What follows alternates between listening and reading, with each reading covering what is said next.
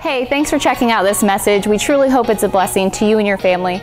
We would love to connect with you about how God's moving in your life and let you know a little bit how God's moving at Coastal.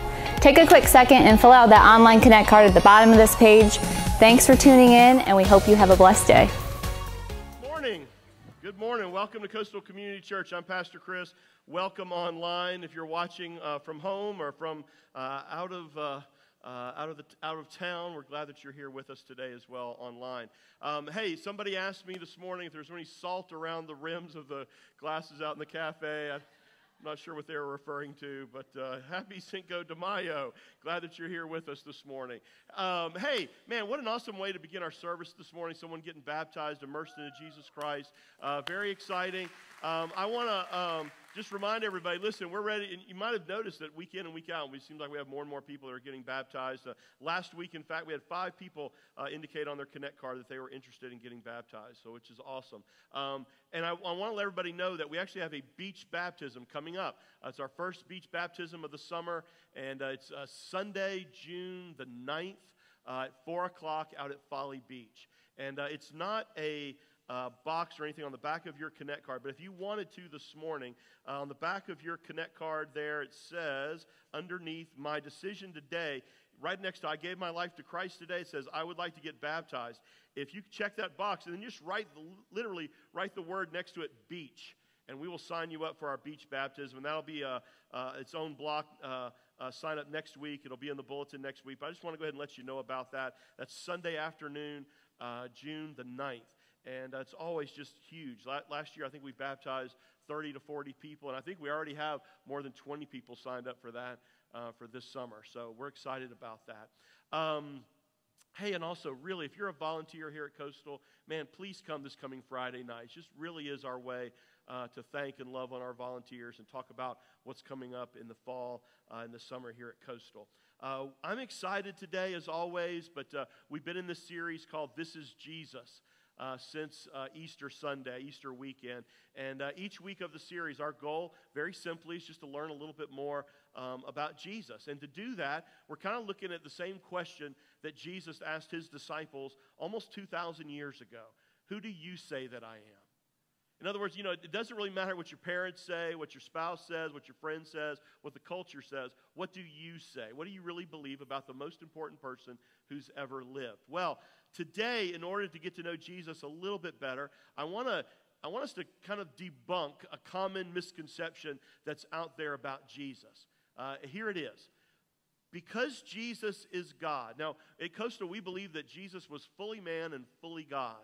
Uh, but because he was God, because he was perfect and he never sinned, Jesus really can't identify with everything that I have to go through.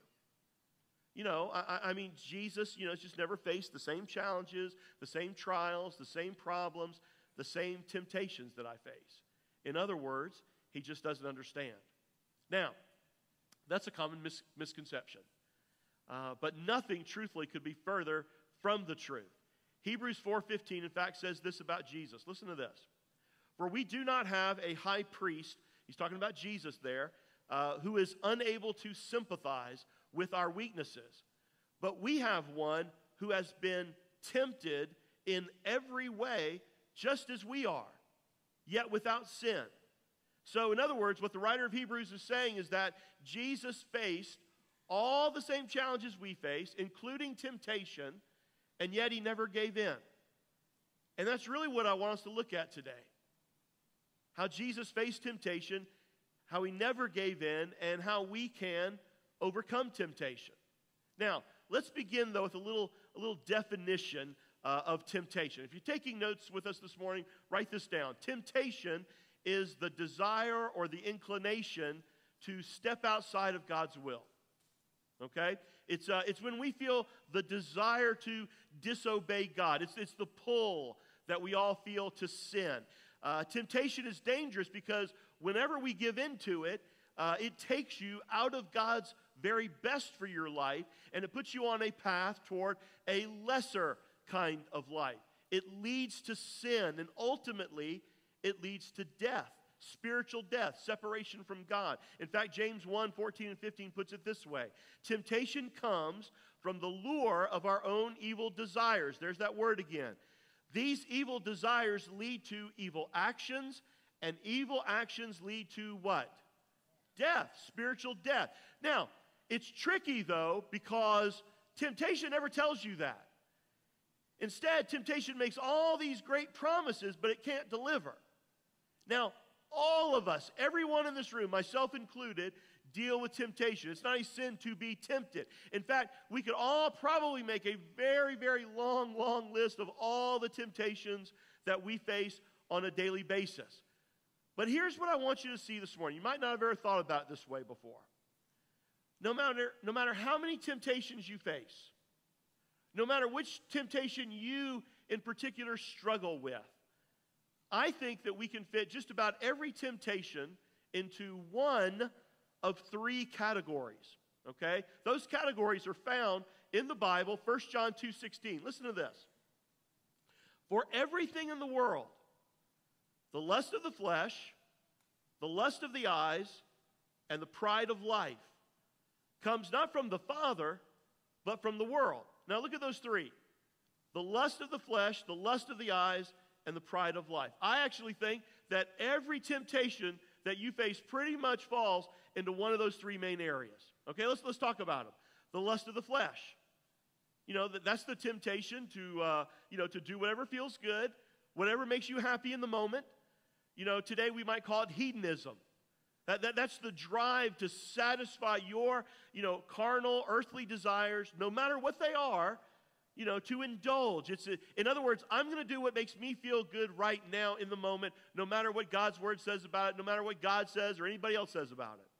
The lust of the flesh, the lust of the eyes. This is the temptation to, uh, to have more, to want more. You know, you see something and, and you want it, no matter what cost is involved. Today we might call that materialism. And then you've got number three, the pride of life. Now, this basically is where we, you know, kind of remove God from the center of everything, from the center of our lives, and we put ourselves at the center of our lives. Everything revolves around me. It's about my status and my power. I want to be honored. I want to be elevated. I'm the focus. Now, those, those are the three big temptations of life the lust of the flesh, the lust of the eyes, and the pride of life. No matter what temptation you face, they probably fall into one of those three areas. So I want to ask you this morning, let's get really personal and really practical. Are, are one of these three a bigger problem for you than the others? And some of you might say, well, it depends on, you know, what time of the day or something. You know, I don't know. Now, if I were being honest, I would say that I struggle in all three. I'm an equal opportunity offender, okay? But my point is, nobody is immune. Nobody, even Jesus. Now, again, Hebrews 14, 4 15 that we just read tells us that Jesus was tempted in every way just as we are. And that's why he understands what we go through. And that's also why I believe that we can learn from his example. And that's what I want us to do today. I want us to learn something about Jesus, but I also want to learn from his example. In Luke chapter 4, we find this incredible story of Jesus fighting off temptation. Now, at this point, give you a little context. Jesus is about 30 years old. He was just baptized, actually, a few days earlier, and he's now about to start his public ministry. Okay? So, after he's baptized, he goes off into the wilderness to fast and to pray for 40 days. Now, many of you here at Coastal and many of your friends, you know, you participated uh, in our 40 day Easter fast, Lent. You know, um, and, and, recently, if you did that here at Coastal, you gave up something, right? You sacrificed something. Maybe for you, uh, it was chocolate, you know, or sugar, or caffeine. Uh, some of you gave up swearing, uh, or negativity, or television, all those things. But I, what I want you to see here is that Jesus' fast is, is really intense, okay? He's not just giving up one thing, he, he's not eating any solid food for 40 days and 40 nights. Physically, at this point, He's weak and he's tired. Now, follow along as I read. It's on the screen, it'll be it's on your outline. Jesus, full of the Holy Spirit, returned from the Jordan and was led by the Spirit in the desert where for 40 days he was tempted by the devil. Now, what I want you to see first there for a second is who is doing the tempting here? Who is it? The devil, right? Now, and, and that's an important point to make. You see, God never tempts anyone, God doesn't tempt you. God's not the one who sends temptations into your life. He's not trying to trip you up. Okay, it continues. He ate nothing during those days, and at the end of them, he was hungry. The devil said to him, Now, stop right there for a second. When did the devil come to tempt Jesus? When he was hungry, when he was weak, when he was vulnerable. And that's exactly the same for you and I. You know, uh, that's when Jesus comes to tempt us.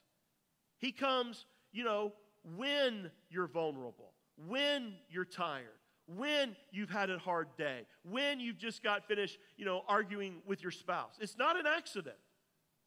Okay, that, that's a part of his, his scheme. Satan knows when you're weak, and that's when he's going to come and attack.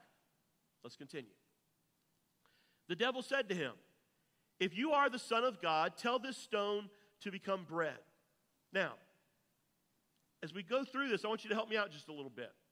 Think about it. Which one of the big three, those big three categories that I just went over, is this? It's the lust of the flesh. In fact, right off to the side on your outline, you could write that down. Write down lust of the flesh. Remember, what's Jesus is hungry here? He's fasting. You know, Satan says, Hey, eat this bread, you're going to feel good. And then Jesus answered, It is written, man does not live on bread alone. Verse 5. The devil led him up to a high place and showed him in an instant all the kingdoms of this world. And he said to him, I will give you all their authority and splendor, for it has been given to me, and I can give to anyone that I want to. So if you worship me, it'll all be yours. Now, again, think about the big three. Which one is this one? The lust of the eyes, right? The temptation to have more.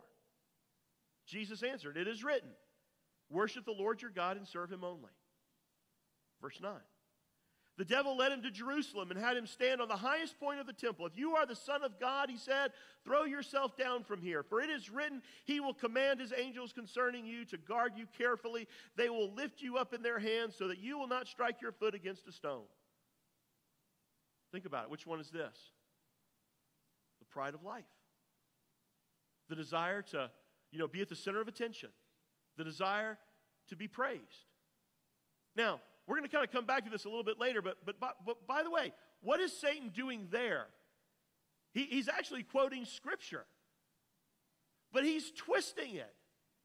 He's twisting it to, to fit his own evil desires. And what I want you to see here, just for a second, is that he's been doing that since Adam and Eve. You know, it's one of his oldest tricks in the book. Now, that's why you need to know Scripture. And we'll come to that in just a little bit. Jesus answered, it is written, it says, do not put the Lord your God to the test. When the devil had finished all this tempting, he left him until an opportune time. That's another great reminder there. Until an opportune time. You know what? You never completely defeat temptation in your life. There's always going to come a next temptation where Satan's going to attack again and again. He's going to come again. Now, don't miss this. If Jesus had given in to any of these temptations, he wouldn't have been able to fulfill God's plan for his life. And to be that what? Perfect sacrifice for all of our sin, for all mankind. Now, similarly, you know, in the same way, when we give in to temptation today, it prevents us from living out God's purposes for our lives. Because again, what does temptation do? It leads you away, it leads you on a path away from God. It can hurt your relationships, your career, your finances, your future, and it will hurt your relationship with God. That's why this is so important, what we're talking about today. Now, I think there are some lessons here that we can learn from Jesus in how to overcome these same three temptations in our lives the lust of the flesh, the lust of the eyes, and the pride of life. And I want to look at each one of them this morning. So, number one, here's the first one to overcome the lust of the flesh, I got to develop godly boundaries. Develop godly boundaries. Now, the lust of the flesh, remember, that, that's this temptation to, you know, to satisfy your desires, you know, no matter the consequences, uh, to watch what you want to watch, uh, to eat what you want to eat, to sleep with whoever you want to sleep with, to do whatever's going to make you feel good in the moment. That's why this temptation is so dangerous. Because it promises, you know, that if you'll do that, if you'll do these things, if you'll give in to this temptation, you're going to feel good. It's going to make everything all right. You know, if you're in pain, this is a way to numb the pain. Now, truthfully, it might make you feel good for a moment, but it never lasts. It always leaves you wanting more. And ultimately, if you give in to the lust of the flesh, it's going to end up hurting you, and it typically hurts those you care about the most. Now, there's a lot. I mean, there's this, you know, there's so many temptations in this area that we could talk about. You know, kind of this big, this category. I mean, we can talk about how people, you know, will turn to drugs, they'll turn to alcohol, even food, you know, to, to numb the pain that they're feeling. It can lead, lead to uh, substance abuse, it lead to addiction. Now, one temptation in this area that I'm pretty sure we all wrestle with is sexual temptation.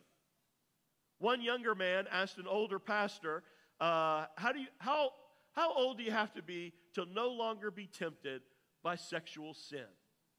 And uh, the older pastor quickly responded, Son, I wouldn't trust myself till I've been dead in the grave for three days. 1 Corinthians 6 19 and 20 says this. Listen to this. Or don't you know that your body, your physical body, is the temple of the Holy Spirit who lives in you and was given to you by God? You don't belong to yourself, for God bought you with a high price. By the way, that high price that he's talking about there is the death of his son Jesus. That's, that's the high price that you were bought with. So you must honor God with your body. In other words, what the Bible is saying here is that, hey, if you call yourself a follower of Jesus, a Christian, a believer, then the Holy Spirit lives within you. You are the home of the Holy Spirit. So, because of that, God deeply cares what we do with our bodies. We're more than just physical, He cares about what we do with our bodies. So, one anecdote to this temptation of the flesh, especially sexual temptation, is to develop godly boundaries in, in, our lives. Now, let's talk about that for a moment. You know, what are boundaries? Well, boundaries are, are, are boundaries are a buffer zone between you and sin. It's, it's kind of where you draw a line and you say, okay, I'm going to put some distance here between me and crossing the line over there and giving in to sin. Okay, I'm going to put some distance. In other words, I, am not going to get too close. I'm going to create this boundary. I'm going to back up here a little bit, this boundary for my personal protection. Now, what temptation always does, though, is it pushes our boundaries. It does. So, let's say that you're in a dating relationship and you've decided that you know, the line that you're not going to cross is you're not going to have sex until you're married. So the wise thing to do is take a few steps back from the edge, you know, to create a buffer zone, to create a boundary between you and what God's word says, that, that goal. Now, so what might that look like, practically speaking, in a dating relationship? You know, I don't know. You got you got to figure that out. It, it, might be that you know I, am not, not going to stay out all night with my boyfriend or my girlfriend. I'm going to give myself you know like a personal curfew, or I'm going to make the decision that I'm not going to sit on their bed at, in the dark, you know, making out with them with no one around, because that's going to put me you know too close to the edge. That you know I'm, I'm going to I'm going to end up crossing the line. So that boundary creates safety. Now, so here's the question you got to figure out. When it comes to the lust of the flesh that you might be struggling with in, in any area uh, in the lust of the flesh. You know, what boundaries do you need to create? What safety, you know, buffer zone do you need to create? You know, if you're married and uh, you're at work and there's a coworker of the opposite sex who's always, you know, you know, really close, you know, to you, and you work with them in a close environment, and you, you're, you're kind of attracted to them. What boundaries do you need to create to protect your marriage? You know, I'm not going to be alone with this person. I'm not going to go out to coffee or out to lunch with this person by myself. You know, if, if I text them, I'm going to copy my wife, my, my husband. You know, if pornography is an issue for you, what boundaries, what, what buffer zone do you need to create? You know, maybe you put a filter on your phone or, you know, on your computer at home. You know, you talk to a friend, you tell them to hold you accountable. You know, make it difficult for you to give in. Create a buffer zone, a boundary. You know, maybe for you it's drinking. You know, maybe he's drinking too much. You know, you know what? So you, you create this buffer zone. You say, you know what? I'm just not going to go out to bars with my friends on the weekend. You know, I'm not going to party on Cinco de Mayo, you know? Whatever it is, you create about. I'm not going to drink when I'm alone. Now, let me give you a little, a little secret here. Here's the biggest secret for overcoming this category, the lust of the flesh. One word. You ready for it? Write this down. Run. Run. You know, get away from whatever or whoever is tempting you. That's especially true in this area, especially true in sexual temptation. Run from it. 1 Corinthians 6 18. Back up from that passage we read earlier. What is the very first word? What's it say? Run. Run. Circle that word. Run. Run away from sexual sin. No other sin so clearly affects the body as this one does. For sexual immorality is a sin against your own body. And who lives in your body? The Holy Spirit. So you do whatever you have to do to, to get away, to run away. So you create these boundaries when the temptation does attack, and then you run from it. Let's talk about the second category. To overcome the lust of the eyes, I must live generously. I must live generously. Now remember what the lust of the lust of the eyes is all about. It's the desire to have more, more of everything. And we all want more, don't we? I mean, we do. We are living in the age of discontent. You know, we talk a lot about that. We're in a, uh, we finish up financial peace tonight after having our big party. See how much debt we all paid off this, this past semester. But uh, John D. Rockefeller, the very first billionaire in America, he was once famously asked, How much money is enough? You know what he said? Just a little bit more. Just a little bit more. You know, more money, more stuff. I got to have more. Listen, if you let it, the lust of the eyes will leave you broke, in debt, unsatisfied, and unfulfilled because having more stuff does not make you more happy. It just keeps you running in circles in the pursuit of more. And that's why, if you want to defeat the lust of the eyes, if you want to get off this hamster wheel chasing after more, the key is living a generous life. It's generosity.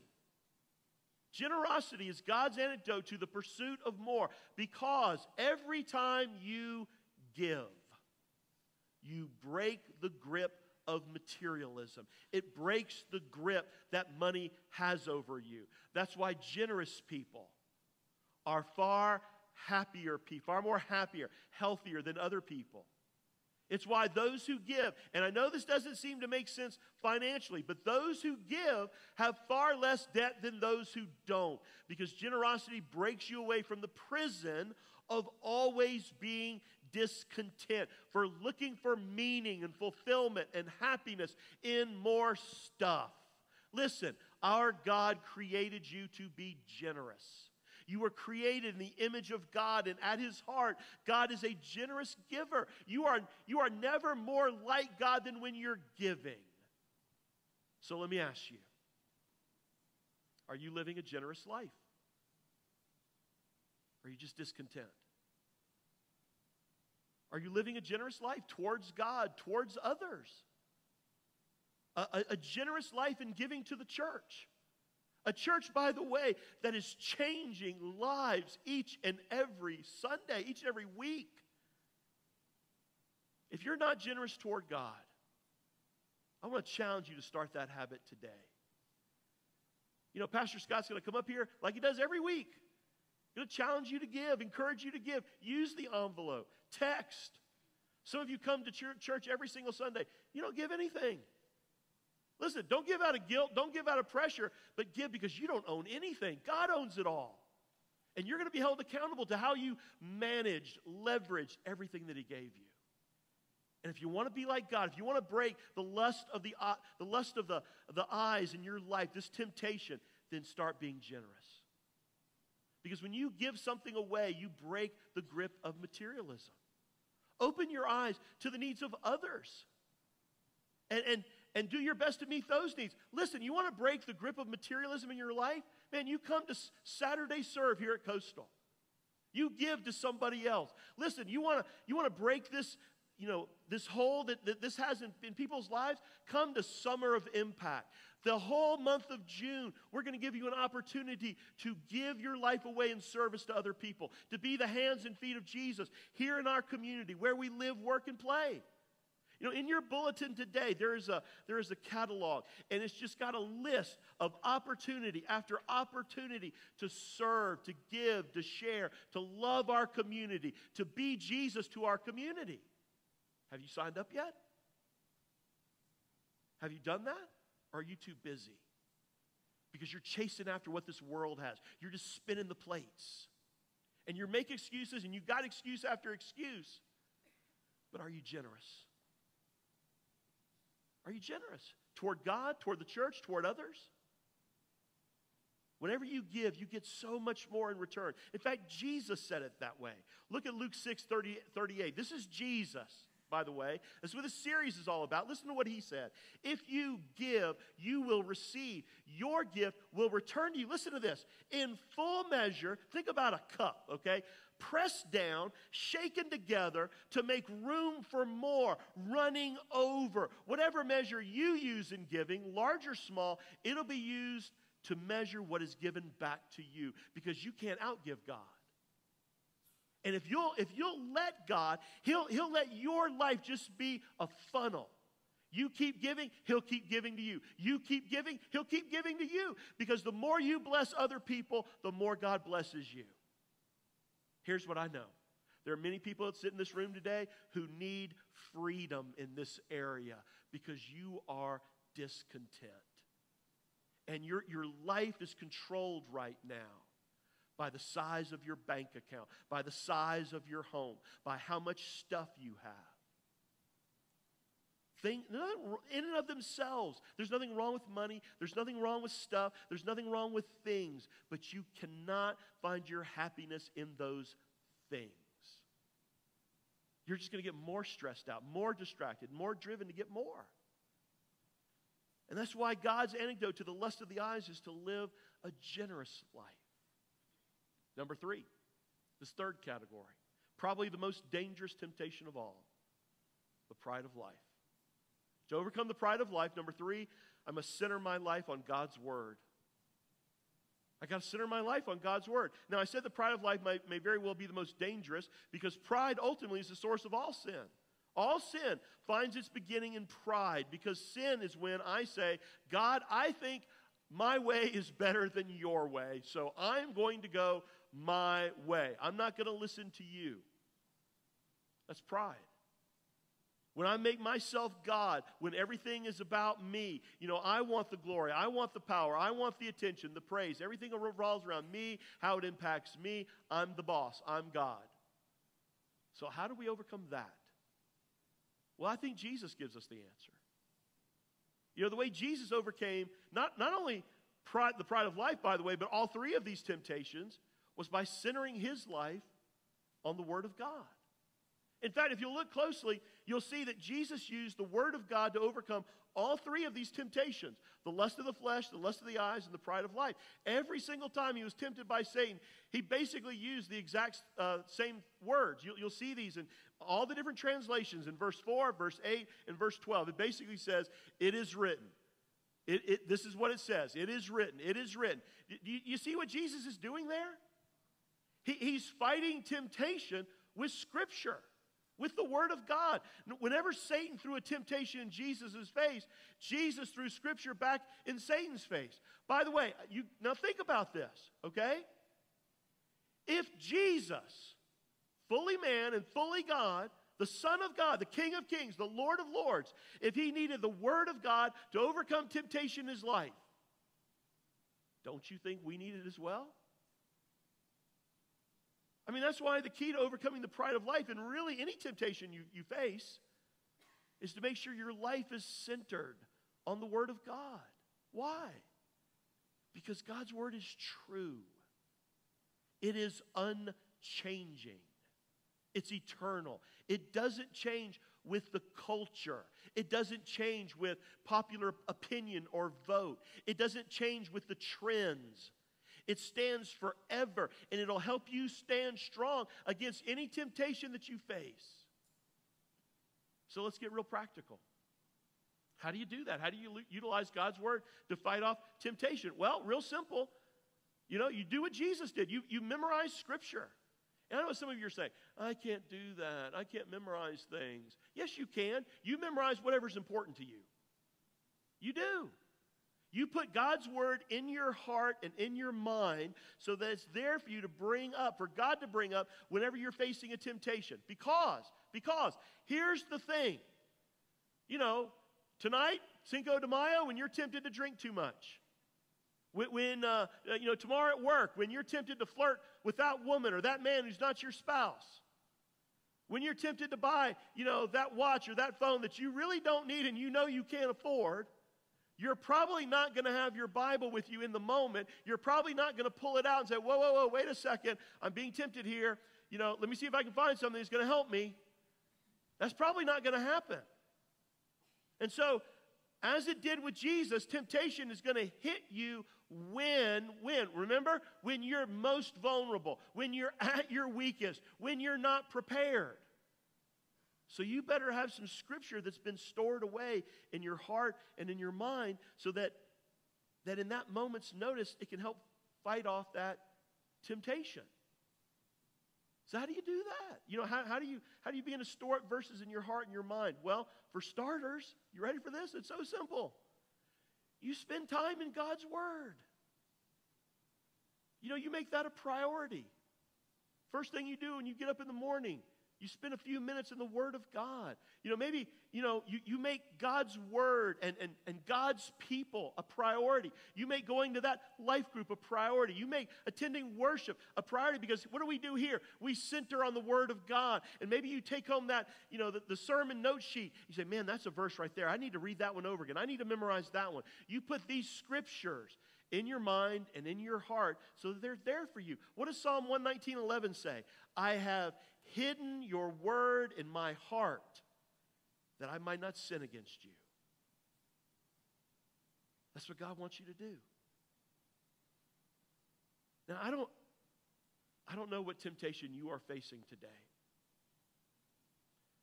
I don't know which one of these categories has got a stranglehold on you today. Maybe you're dealing with an addiction. Maybe it's sexual temptation. Maybe it's just this overwhelming desire to have more, more attention, more stuff. You're not content. Whatever it is, whatever it is, listen. This is Jesus. He understands. And he promises that, that he's going to be there and he's going to help you through every temptation that you face. 1 Corinthians 10:13 says this. I want to close with this verse. But remember that the temptations that come into your life are no different from what others experience. Listen to me. We're all in the same boat.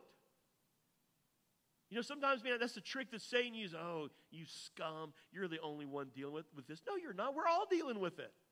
We all face it. We're in this together.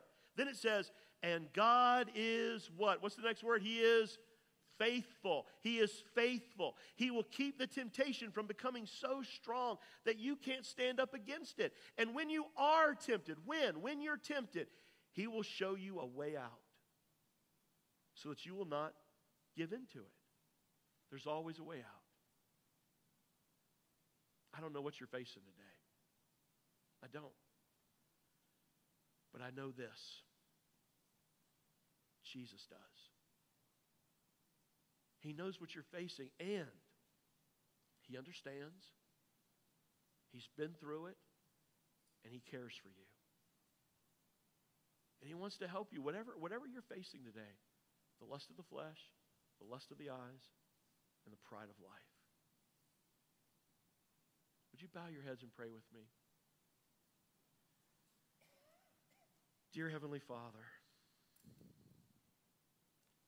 God, thank you for Jesus. Thank you that we have a Savior who understands. Fully God and yet fully man. And he went through all the same temptations that we face. Father, you know, the truth is right here in this room today or watching us online, I, my guess, and I know it because we've all been there, we're, we're in this together. There's someone here right now that is in a struggle. They're in a fight, a fight for their life.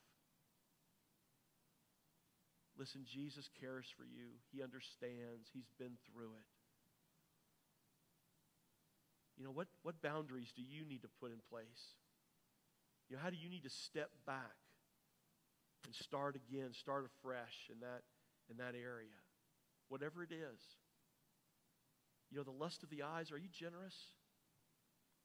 Are you generous to the church? Are you generous toward others? Do you live your life in such a way to, to serve and give to God and to give to, to others?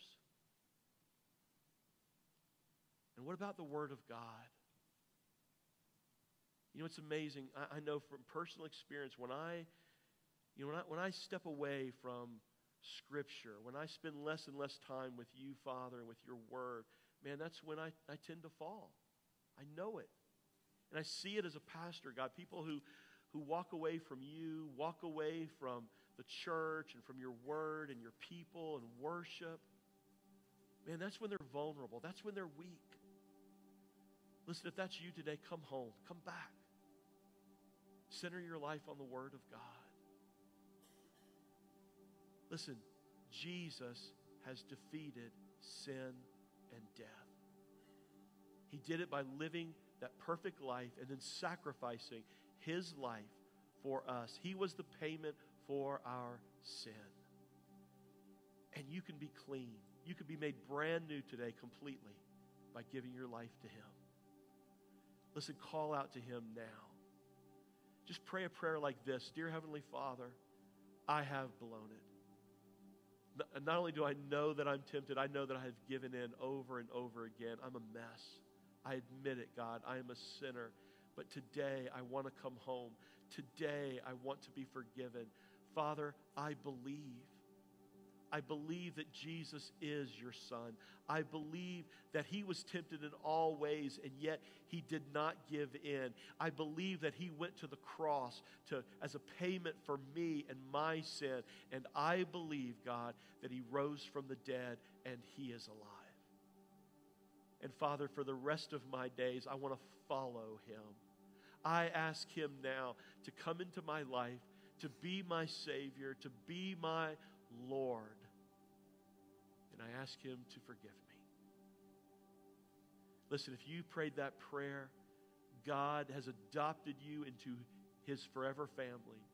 The Bible says that anyone who calls upon the name of the Lord is saved. And Father, today, may we all live a life worthy of our calling. And may we recognize that greater is He that is in us than He that is in the world and you have given us a way out from temptation on a path of life and purpose and meaning. And may we stay on that path. We love you, Father, and we pray these things today in the name of Jesus. Amen. Amen.